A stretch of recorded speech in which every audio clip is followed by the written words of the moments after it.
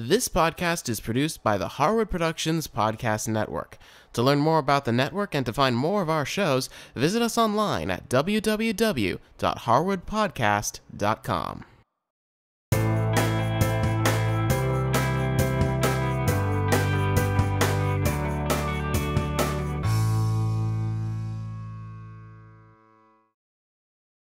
Hey there, everyone.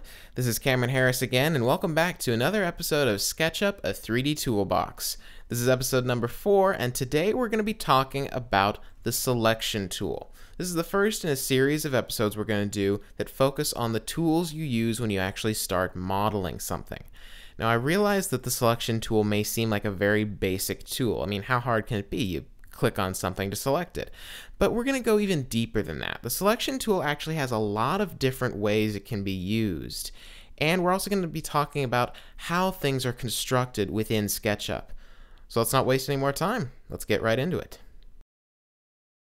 So I'm just going to launch this selection file I've prepared for this episode. And you can see it's not very exciting, but you know, it's just pretty basic, two cubes. But this is really going to help illustrate what you can do with the selection tool and how you're supposed to use it. For one thing, let's just learn about where the selection tool is. It looks just like your cursor. It's right up in the top left of the menu bar by default. I'm sorry, the toolbar. And it's also in the top left of your tool palette. And you can just, if I select something else, you can see right there. It also has a keyboard shortcut applied to it, which is pretty simple. If you're on some other tool, you need to get to the selection tool, all you have to do is hit the spacebar. Spacebar takes you right to it no matter what. And uh, memorize that shortcut because the selection tool is the one you will always go back on. So if you're on something else, you're always going to end up back to the selection tool. Now, let's talk about how exactly the selection tool works. So you can see I've got these cubes here. We're only going to concentrate on one for the moment. And if I just kind of zoom in on it, we can get a better idea. Now, the way the selection tool works, well, to understand the way the selection tool works, you have to kind of understand how SketchUp works.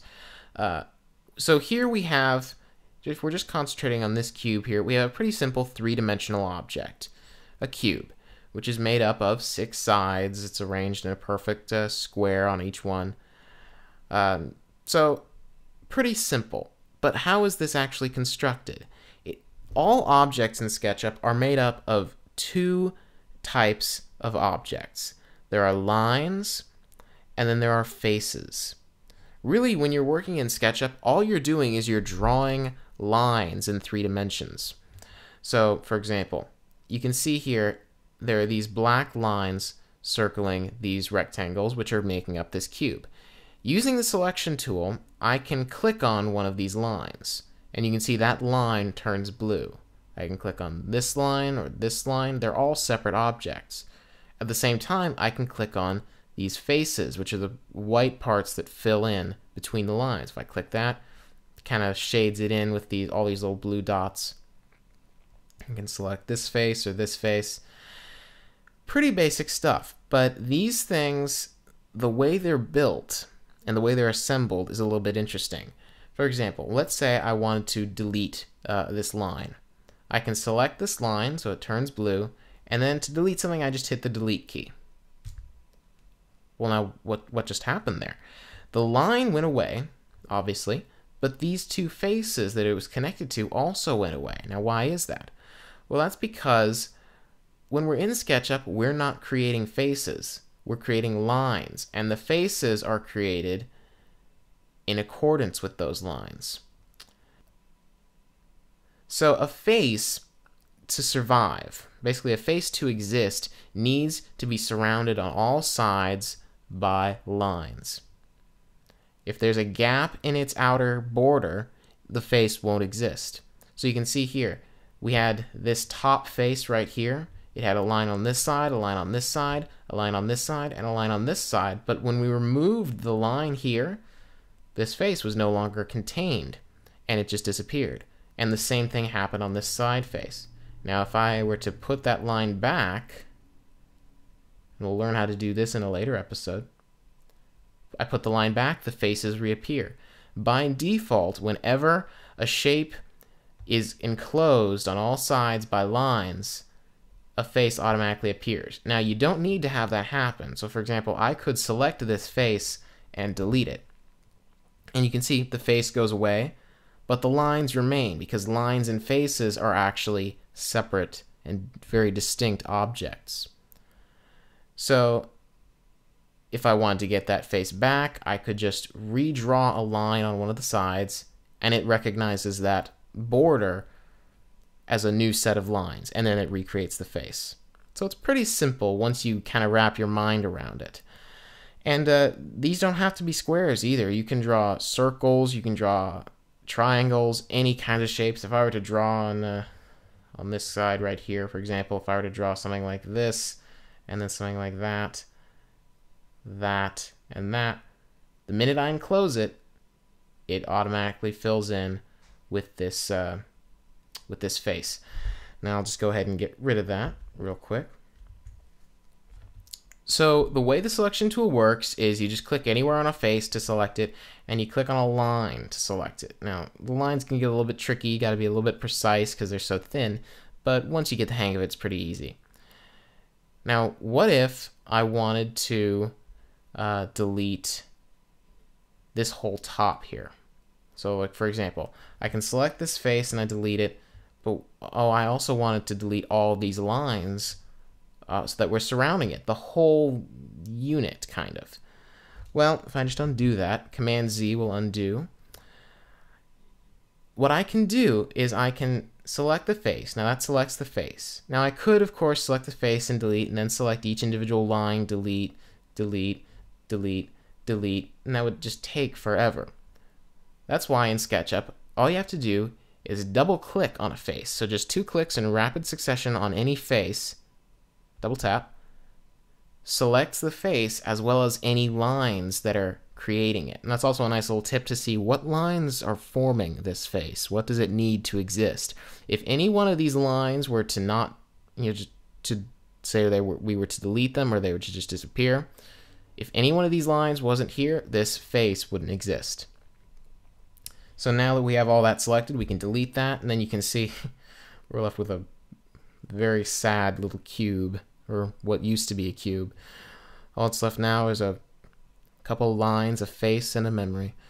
So you can see here that um, because we deleted the top uh, lines on all these side pieces, the side pieces all went away as well, but we didn't affect this bottom face. It's still enclosed on all sides, so it still has its face. We're just going to undo that. Now, what if I wanted to delete this whole unit here? So this whole cube. Well, again, I could double click this and delete it, and then double click this face down here and delete it, and then I could select these lines individually and delete them. But that's not very that's not very quick. It's pretty complicated. It takes forever. So, there's a much simpler way to do this. Triple clicking on a face triple click. That's not something you do very often in a computer, but triple clicking, one, uh, one, two, three, three taps right after another, will select the face, the lines surrounding the face, as well as any lines and faces that are connected to it. So anything that is linked to what we clicked on will be selected. Now I can just delete the whole thing, poof, gone. Now this isn't the same as selecting all. For example, if I were to click on a face or line and say Command A, you can see it selects everything. It selects all of the lines and all the faces in the entire model, including this cube next to it.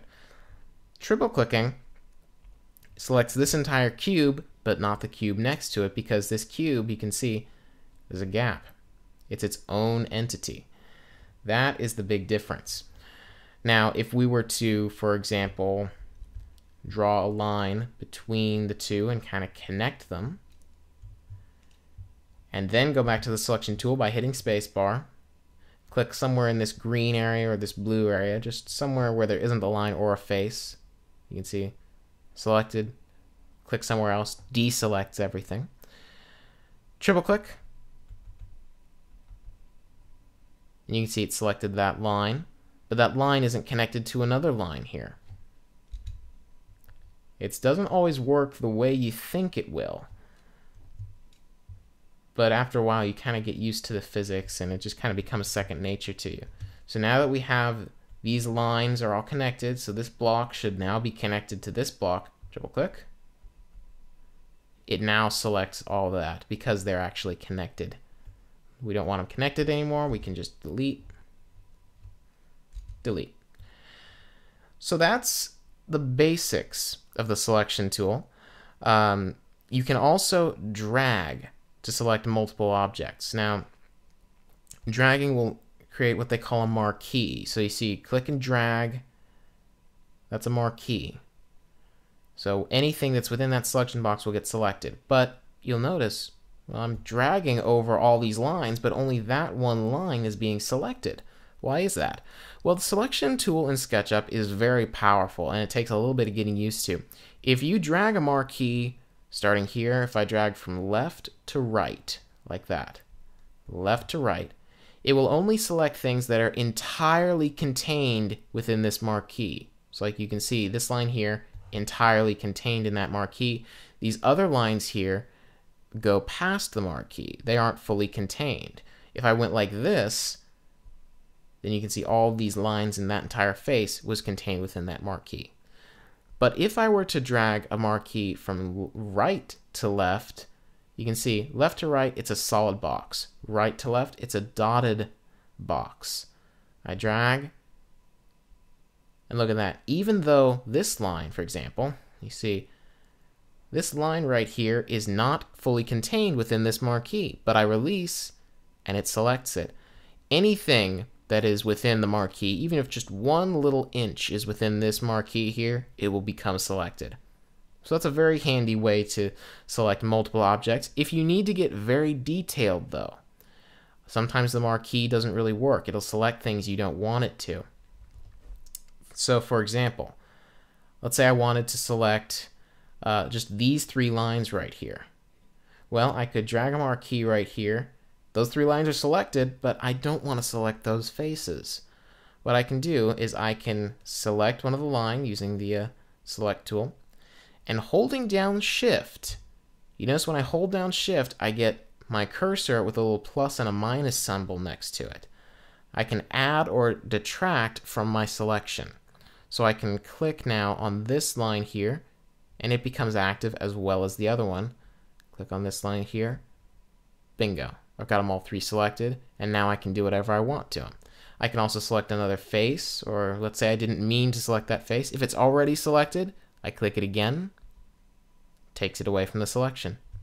So it's pretty simple. Just click elsewhere to deselect.